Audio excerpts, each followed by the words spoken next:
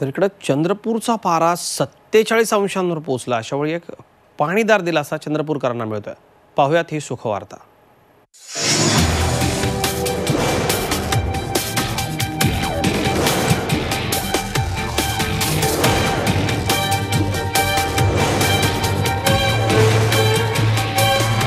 चंद्रपुरातली रणरणती दुपार.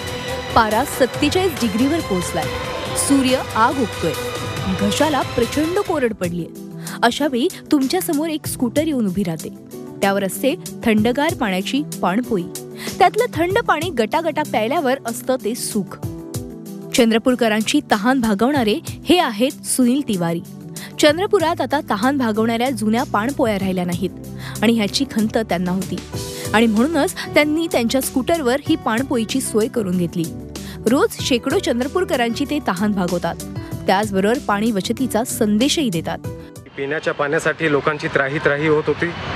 हॉटेल व्यावसायिक हे सामान्य नागरिकांना विनामूल्य पाणी देण्यासाठी तयार नसतात.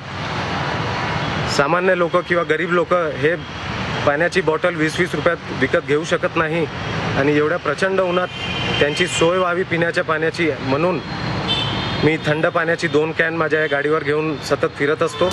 सेहेचाळीस सत्तेचाळीस डिग्री तापमानात फिरताना अचानक या थंडगार पाण्याचा एक घोट मिळाला तरी ही सगळी काहिली क्षणासाठी का होईना शमून जाते. आता हे जे काम करत आहे खूप छान आहे. आणि पाणी आज आपल्या चंद्रपूरमध्ये खूप संकट आहे आणि यांनी पाणी आपल्याला देत आहे खूप मोठी गोष्ट आणि छान. आमच्याकडून तर यांना म्हणजे खूप आभार आहे आमचे की यांनी आमच्या प्रत्येक कर्मचाऱ्याला पॉईंटवर येऊन यांनी पाणी वाटतात. ये धूप से भी बचने के लिए हमारे सुनील भैया तिवारी है। हमको हर चौक में आके पानी पिलाते हैं और सभी पॉइंट में जाके जितने भी ट्रैफिक वाले हैं सभी को पानी बांटते हैं आम पब्लिक को भी पानी बांटते हैं। सुनील तिवारी यांच्या तृष्णा तृप्तीचं समाधान अनेकांना मिळत आहे चंद्रपुरात पहिला पाऊस येईपर्यंत सुनील तिवारी यांचा हा उपक्रम सुरू राहणार आहे.